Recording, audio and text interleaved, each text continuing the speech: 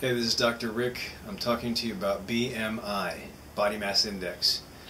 Those of you who have seen me in the clinic, you know that part of the vital signs that we measure are temperature, respiratory rate, pulse rate, blood pressure.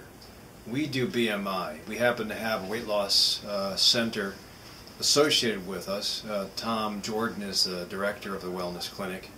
But really, uh, all your doctors out there should be checking your BMI and telling you that this is what you are. Somebody had come up with the formulation of the BMI because the old way wasn't working. We could tell people until the docs were blue in the face that this is your number, where you are on the scale. This is, everybody knows this kind of scale because we've been brought up with these scales. They're the most accurate. The digitals aren't as accurate. I don't care what the digital company says. This is the most accurate. And all of us know about that sound of the slide going, and you know, there's always anticipation. Oh, am I better or worse? Or am I the same? So sometimes we get used to the numbers, and even if we did have a range of numbers, uh, American society, one in three Americans is obese. So this isn't working. Not, as far as making a visual for what's normal, what's not normal, what's your normal, this isn't working. Uh, telling people that overweight is bad, that's not working either. So hopefully in this last 10 years, the concept of BMI is transferring over to other doctors so that they can make you aware that this is where you are danger, in danger of having problems associated with high body weight. Those problems are high cholesterol, elevated blood pressure, and glucose problems like diabetes. You can certainly have a little bit of each. A borderline problem a, with blood pressure, borderline problem with uh, cholesterol, a borderline problem with diabetes. But you know that borderline problems always go off the board. So that's a problem in, it, in the fact that if we just watch it, what do you expect is going to happen? It's not going to change if you're not going to change yourself. So again, BMI gives you a better, better visualization of where you are, where you should be. And a lot of my patients will say, well, I was never that kind of weight. If um, a guy that's 5'6 is supposed to be 110 to 120 pounds, uh, some of my patients will look at me funny and say that, impossible, I was never even that way in high school. Well, it's not an absolute, it's an ideal for where you should be. It's either that and by change that with regards to diet, lifestyle modifications, uh, exercise, or we give you prescription medicines. It's it's easy as that. Uh, the easy way out is prescription medicines. I can easily just hand you a prescription, be done with it, say the side effects of the prescriptions, and say, good luck, I'll see you in three months. But that's not what making lifestyle change is. That's just continuing on bad habits and throwing a pill on top of that. So my suggestion with all my patients is try, try to change things before I have to give you pills. If you're in danger, I will give prescription medicines, but if we have some time to make the change, and we have the right folks to make the change, then it's worth it to change that BMI. Because it's a concept, but it's a concept of measuring weight and knowing the ideal of weight.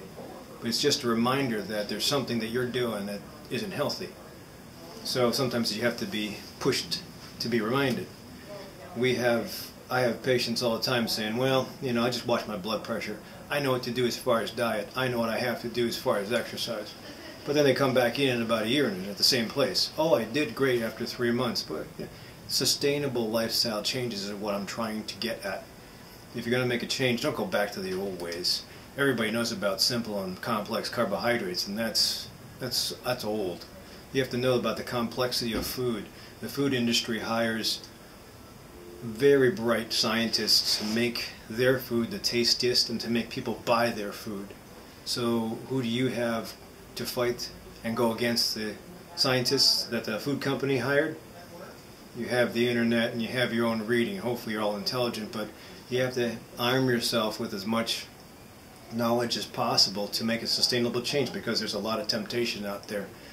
In every TV or internet um, program that you watch, there's always going to be an advertisement. It's either going to be food or some form of drug. So you have to be wary of that.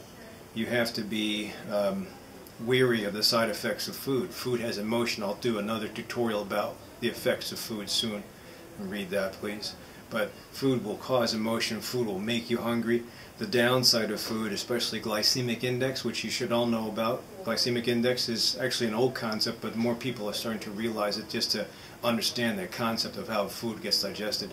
There are certain foods that evaporate in your bloodstream and go straight to high fructose or high sugars. There are certain foods like whole foods that slowly get absorbed. It makes the gut work a little bit. They slowly release sugar so that the, the, the organs don't get bathed in a, in a tidal wave of hormones and sugar. They get a little bit at a time. That's the way the gut's supposed to work. That's the way the body's supposed to interpret the energy from the food. But unfortunately, things like Red Bull, um, processed food from McDonald's, they're made to give you uh, sugar from candy. They're made to give you sustainable, or sorry, non-sustainable highs real quick, but they also drop you down low so that you'll search for more in about half an hour. It's called a food crash. So um, the symptoms that kids sometimes have after lunch, if they all go to McDonald's, is they get lethargic, they get irritable, uh, and then they pump up again before they play sports after they're um, released from school. So you have to know the ins and outs of food, and if you're doing it on your own or you're trying to read on the internet, I honor that, but might as well get somebody to help you, and we have registered dietitians and exercise physiologists who study this stuff. They go to school for this stuff, utilize them. We have two in our clinic because we're lucky enough, but you kind of have to do the research.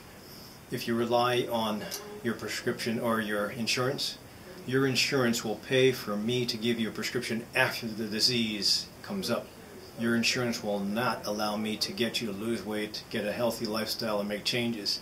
It takes too much time. And in the office, insurance says time is very expensive, so they will not let me spend the time with you. So I get penalized for teaching. So, uh, and it, does, it used to be I can send people with blood pressure and obesity and bad knees to a dietitian. Can't do that anymore. Can't even send somebody with borderline diabetes to a dietitian. You have to wait until you're a full-blown diabetic to get to a dietitian and have it covered. So you're kind of on your own, but that's just with regards to insurance. If you're willing to seek out the right individuals and make the changes, it's well worth any price you pay to go to a registered dietitian or somebody who is at least knowledgeable with how to make sustainable changes for you.